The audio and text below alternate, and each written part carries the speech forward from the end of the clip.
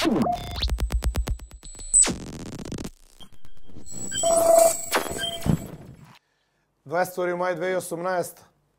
Друже Мицко, спаси го имево и после бори се едно четири мандата за економија и имаш поддршка. Давате ли вие, почитувани гледачи, поддршка вака бланко, јавно, на статуси, на социјални мрежи, ако не сте сигурни дека давате поддршка? Тивките и уплашените реални профили, кои што знаат дека сајбер полицијата демне, е тука, во телефонот, во компјутерот и ќе види се. И во таква ситуација, затоа овие документи што ги гледате, добиваат на една изворедна тежина, бидејќи прво, овозможува да се направи реконструкција на дејствата, оти ние немаме друг тип на историја, ги укинаа вестниците, а, телевизиите пуштаат турски серии и глупости. За реконструкција на историјата, таймлайн на работите представува а, поведението, однесувањето на поединците на социјалните медиуми. И сега тие храбрите кои што добар дел од нив се платени, еве што објавуваат. Еве вака. Значи, Лјупчо Палевски, друже, ја не сум ДПМН, ама Кристијан е топ дечко, гледам да бидам објективен и реален. 29 јули 2017. ДПМН и СДС се две банди, бла бла бла бла бла бла, но а, Грујо единствената паметна работа што ја направил во последниве три години е што го поставил Христијан Мицковски за генсек во Демохристијанската партија. Компарацијата со Кирацовски, млад политичар од Битола е едноставна. Кристијан е Ферари. 20 декември 2017 Никола Поповски у депресија. Антонио уцвика. Илче е шпиунче, ништо повеќе. Филип е многу надвор, многу бочно. Во моментов сигурни двајца кандидати се собрани преку 30 подписи Страшевски и Кристијан. Па го греши името, ама добро, небитно. И двајцата ми се добри пријатели, Јовица од подамна, ај со среќа. Добро, окей, пријателски Значи не е политички, ама пријателски вели дека имаат врска. На топ тема два професори и еден трофазен ректор. Браво за Кристијан Мицковски и во хаштаг прц. Овај нов нов скриншот. Спирко Блажевски вели из прдокот од калето Троцки, он ти е пријател. Тоа го прашува за за Мицковски и тука сега ја не знам зашто го вика Троцки и не знам овај дали е испрдок од Кале бидејќи Обрајан нешто друго кажа дека не би купил Никола од него, ама сега добро, ке, може да тогаш било, па меѓу време се сменило. Лјупчо Палевски, ој, нашиот Чарлс Менсон, кој што они би да ни го закачат на нас, као, божем, као мене ми е другар, пијам кафе секој ден со него, да видиме што пишал тој истиот човек за Мицко. Да, за енергетика цар. Разбира тие работи. Инаку дека е кандидат на Калето, до сега се шпекулации, а ми смета мекиот став за името Ала Груја. Значи, тука и го брани, значи, не е он кандидат на Калето, он ќе го одбрани името.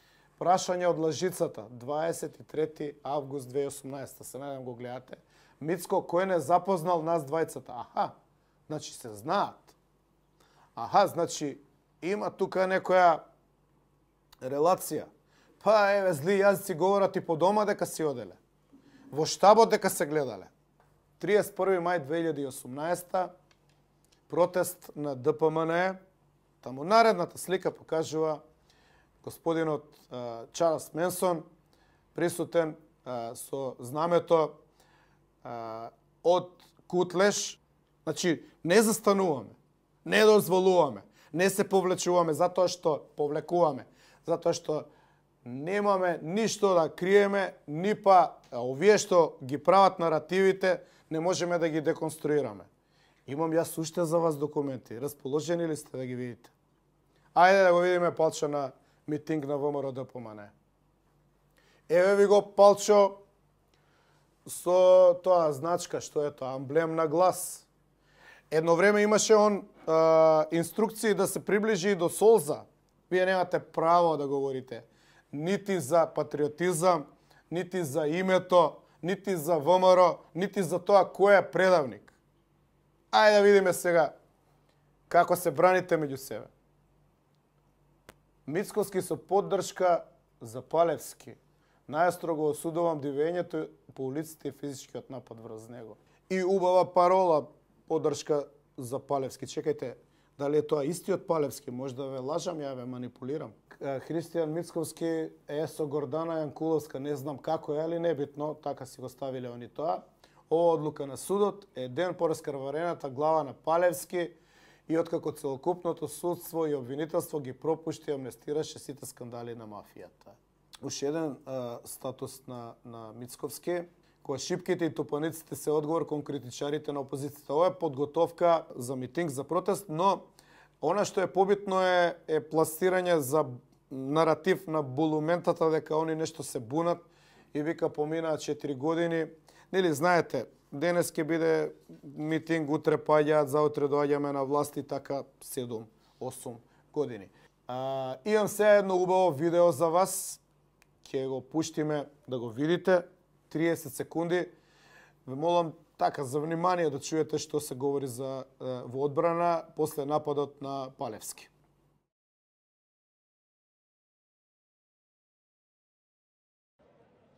Неправда е кога се тепаат новинари критичари на власта добиваат крвава глава само затоа што зборат гласно за криминалот на мафијашите и нивните слуги, исти како нив мафијаши.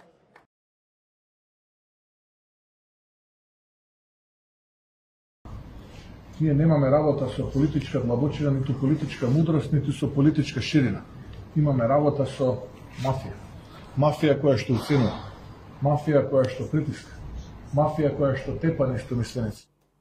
Ако не знаеш што да кажеш, повторувај ги тезите, политичка длабочина, политичка широчина, политичка трета димензија, политичка четврта димензија. У суштина, да ви симплифицирам, политичка подршка за Палчо.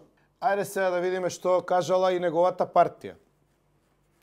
Мафијата на Заев и слугите се покровители на обидот за убиство врз Пале. А значи ова било и обид за убиство.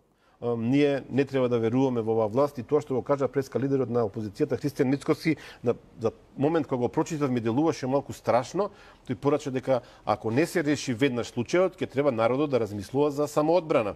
Ми делуваше малку да речам радикално, меѓутоа очигледно е дека ние ќе треба да ја земеме правдата во своји раце и да се браниме на прво место и второ место да се одмаздуваме доколку дојде до овакви ситуации. Па инаку ќе не удри пајакот. А, така значи. Значи така. Правдата во своји раце и одмаздуваме. Дали ова може се доведе во корелација со црните листи што ги прават овие слич, овие или слични на овој? Него не знам како се вика, знам дека е у телевизија во која што сум на црна листа од 2017 Дали овие изјави може се доведат во корелација со црните листи, метите на, на главата на Мичо, на Чиз, на, на Пасиев, на Данела и мојата маленкост, ете и мене ме ставија на мета. Благодарам.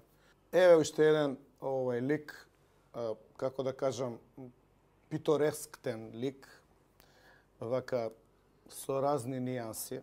И истиот човек е ангажиран во а, како да кажам, дополнување на лидерот. Знаете, тие луѓе кои што овај се тука во секој момент вие како лидер ако заборавите точка запирка, они да додадат и две точки и две запирки. А да, гледате со а, овај подцртано вие со што е тоа портокалово. Веќе две недели како за 2500 евра му спакува му се спакува притворот на Палчево Белград. Значи, они загрижени не само овај за тукашното битие на Палчо него и и овај и у Белград.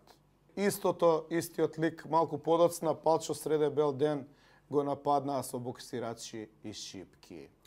Желбата за демаскирање, деконструкција на една монструозна структура. На една структура која што ве манипулира е многу поголема од тоа да овој ден одморам и не снимам ова што го гледате сега, Унија на жени од пробишти, па ВМРО од пробишти и така натаму. Вакви има илјадници. Илјадници, меѓутоа овие се едно миле за да ви а, ја, ја доловам а, големината на манипулацијата.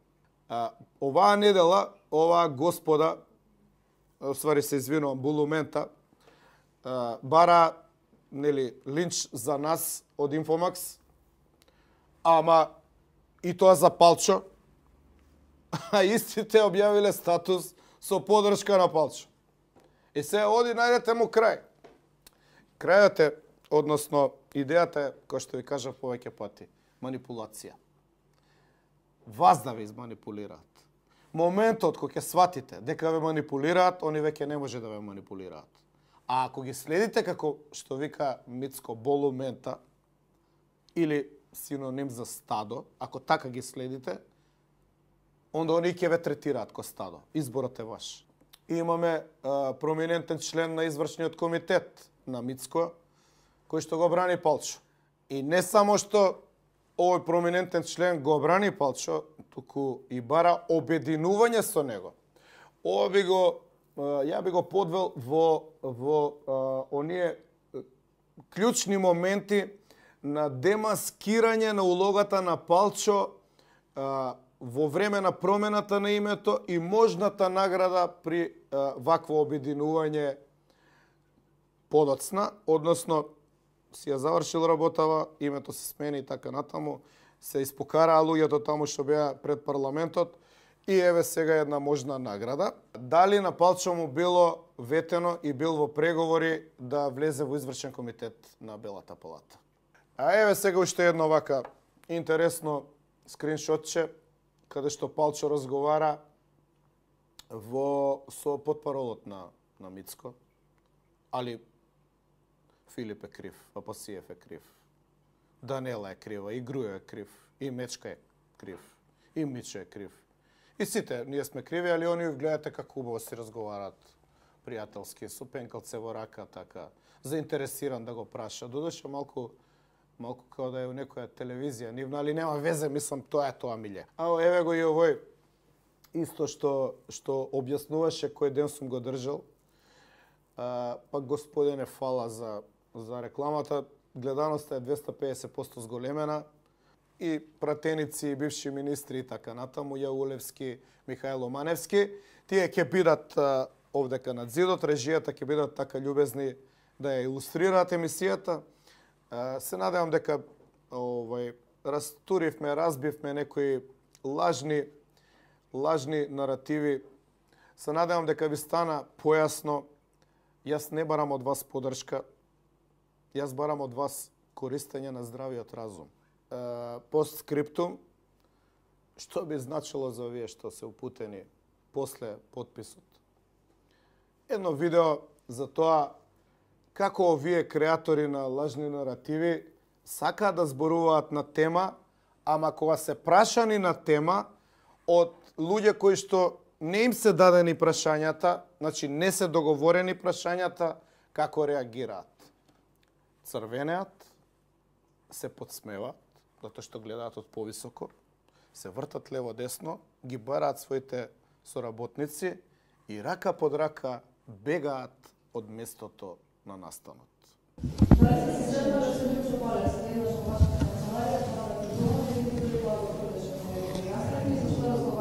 Да се задржиме на темата што е денесната пресконференција. Повелете. Ова се напуши Ви благодарам. Убав ден ти имате.